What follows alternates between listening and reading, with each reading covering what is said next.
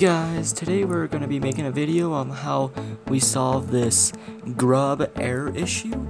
So this would be either if it just suddenly happened to you when you were trying to boot up your computer, or if you accidentally deleted your Ubuntu partition on your computer. So let's get right into it.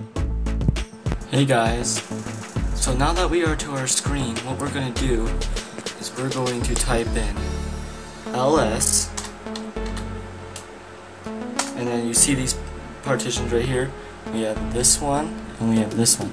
So what you're gonna do is you're going to try to recognize those by typing ls hd0 sorry we need to put a space there. Hd0 and then we're gonna put, press enter. So now it says file system is unknown, then we're going to try another one. For you, you might have more than two, so you want to try every single one of those. So now we're going to do our ls hd0 comma ms dos 1. So it also said file system is unknown. So what we're going to do next is we're gonna do we're gonna do set. We're just gonna set our root. Set. Root equal hd0 comma ms dos 1 and if we press enter and then we now do set prefix to equal hd0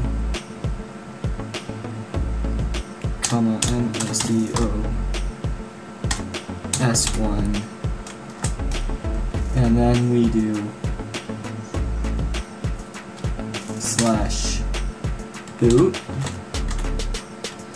slash grub. And then you press enter. And then you do in s mod normal. So if it doesn't show that error, then the next thing you're gonna do is you're gonna do normal again. But since it's showing us errors, so as we see that this didn't work, that's because our partition was accidentally deleted. So what we're going to do is reboot our computer.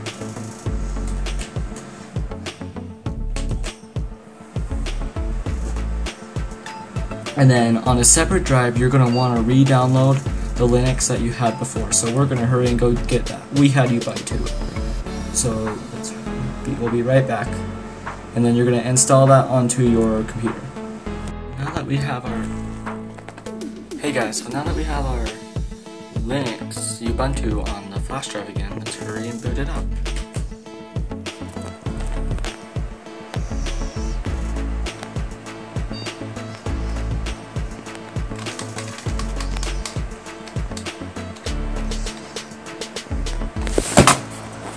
Sorry about that.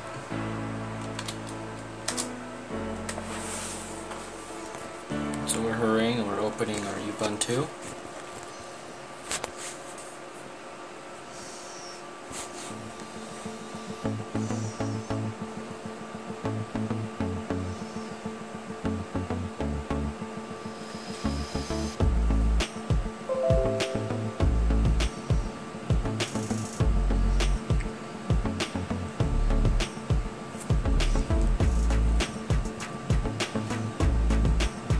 And once our Ubuntu opens, we're going to install the Ubuntu onto the drive as alongside Windows 10. So we're going to hurry and skip to where we're done having that installed. So now we are to the screen, so we're just going to press install Ubuntu and go through the process.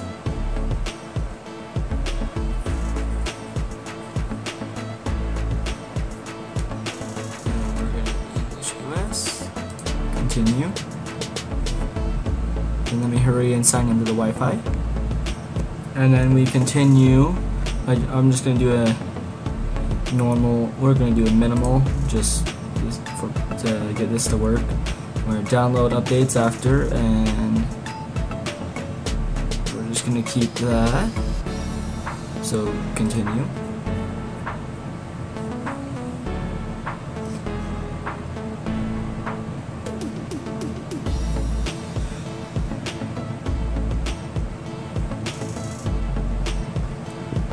Okay, this is the important part. You want to install Ubuntu alongside Windows 10. You want to keep that. So continue. And I only want Ubuntu to be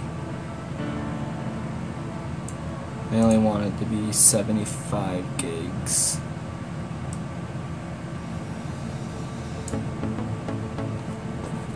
So then go ahead and press install now.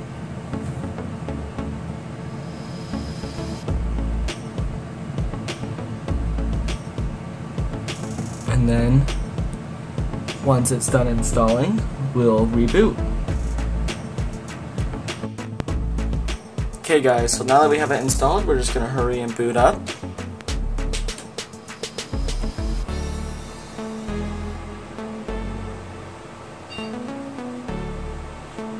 As you can see, we have our boot up screen, and then now we're in. We have our grub menu back. We have our Windows 10 right here. And we have our Ubuntu back. So we're just going to go to our Windows 10, and that's how you fix your grub menu. If you couldn't do it the first way, then you have to do it this way. Sorry about that, but that's what happens if you accidentally delete your partition.